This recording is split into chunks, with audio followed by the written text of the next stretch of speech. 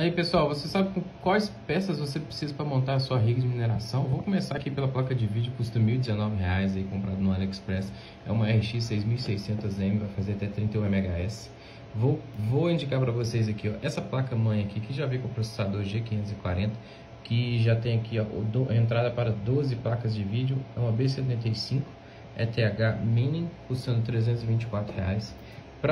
Para esse kit eu vou comprar uma memória DDR3 1600, tá aqui ó, pode ser de 8 GB ou pode ser mais barato ainda, pode ser uma de 4 GB, que tá por 100 reais.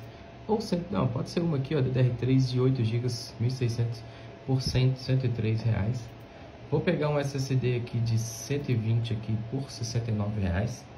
Vou pegar um, um cooler aqui por 90 e 92 reais. Vou pegar o kit Rise aqui, vou pegar esse conjuntinho aqui que vem com é, 6 kit Rise aqui custando 165 reais. Vou pegar esse cabinho aqui para você ligar a sua fonte para ligar sua placa-mãe na sua fonte, que é essa fonte aqui, ó, uma HP de 1200 watts, já preparada para rig de mineração. Ela tem 17 saídas aqui, já vem com os cabos aqui para você ligar suas placas de vídeo. E vou pegar esse cabinho de visor aqui para você aproveitar. Você vai ligar apenas uma saída, um cabinho desse aqui vai alimentar o seu kit ride e a sua placa de vídeo.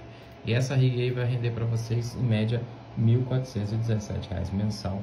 Tá aí a X6600M um investimento de 14 mil, rendendo R$ 1.471 por mês. Tá bom? O que mais?